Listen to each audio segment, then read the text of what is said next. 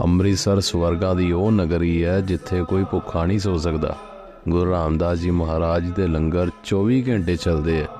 ਇੱਥੇ ਆ ਕੇ ਤਾਂ ਨਿਆਸਰਿਆਂ ਨੂੰ ਆਸਰੇ ਮਿਲਦੇ ਆ। ਗੁਰੂ ਰਾਮਦਾਸ ਜੀ ਮਹਾਰਾਜ ਜੀ ਦੇ ਦਰਬਾਰ 'ਚ ਜਾ ਕੇ ਹੀ ਬੰਦਾ ਸਮਝਦਾ ਕਿ ਇੱਥੇ ਧਰਮਾਂ ਦਾ ਕੋਈ ਰੋਲਾ ਨਹੀਂ ਹੈਗਾ, ਕਿ ਕੋਈ ਹਿੰਦੂ, ਸਿੱਖ, ਮੁਸਲਮਾਨ, ਈਸਾਈ ਕੁਝ ਨਹੀਂ ਹੁੰਦਾ। ਸਾਰੇ ਇੱਕੋ ਜੋਤ ਦੇ ਬਣਾਏ ਆ। ਗੁਰੂ ਰਾਮਦਾਸ ਜੀ ਨੇ ਸੇਵਾ ਭਾਵ ਸਭ ਤੋਂ ਉੱਪਰ ਰੱਖਿਆ ਕਿ ਜਿਹੜਾ ਸੇਵਾ ਕਰੇਗਾ ਉਹਦੇ ਘਰ 'ਚ ਤਾਂ ਕਦੀ ਖਜ਼ਾਨਿਆਂ ਦੀ ਘਾਟ ਆ ਹੀ ਨਹੀਂ ਸਕਦੀ। ਉਹਦੇ ਘਰ ਹਮੇਸ਼ਾ ਖਜ਼ਾਨੇ ਭਰੇ ਰਹਿਣਗੇ, ਜਿਹੜਾ ਨਿਸ਼ਕਾਮ ਸੇਵਾ ਕਰੇਗਾ।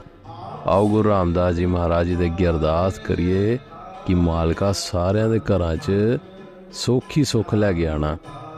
ਜਿਹੜੇ ਇਨਸਾਨ ਦੁਖੀ ਹੈ, ਜਿਹੜੇ ਅੰਦਰੋਂ ਹਿੰਮਤ ਹਾਰ ਚੁੱਕੇ ਆ ਸਭ ਨੂੰ ਬਲ ਬਖਸ਼ਣਾ। ਸਭ ਦੇ ਘਰ ਰਾਜੀ ਖੁਸ਼ੀ ਵਸਦੇ ਰਹਿਣ। ਗੁਰੂ ਰਾਮਦਾਸ ਜੀ ਮਹਾਰਾਜ, ਤੁਸੀਂ ਤਾਂ ਜਾਨੀ ਜਾਨ ਹੋ।